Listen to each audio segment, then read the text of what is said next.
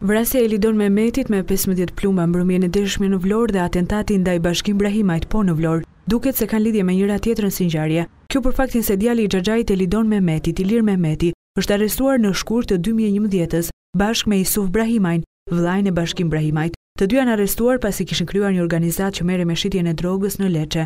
Atyre u është gjetur në atë kohë treqind kilogramë marijuanë dhe dhjetë kilogramë heroinë, dhe i gjithë grupi përbëhej nga njëzet e një persona. Në vitin dy mijë e katërmbëdhjetë është vrarë Isuf Brahimi, ndërkohë që ndaj vëllait të tij është bërë tre herë atentat me eksploziv. Policia po heton pistën e prishjeve të pazareve të drogës si shkak të këtyre vrasjeve të njëpasnjëshme që kanë ndodhur në qytetin bregdetar. Mbrëmjen e djeshme është vrarë Ilir Mehmeti dhe po gjatë natës i është vendosur eksploziv Bashkim Brahimit. Policia dhe prokuroria po i hetojnë ngjarje të ndara nga njëra tjetra, por nuk përjashtohet mundësia që të dy atentatet të kenë lidhje. Pavarësisht se është marrë në pyetje, Bashkim Brahimi nuk ka treguar emra, se kush mund të jenë personat që i kanë vendosur eksploziv. E njëjta gjë ka ndodhur edhe me familjarët e Lidon Mehmetit, të cilët kanë thënë në polici se nuk kanë konflikte.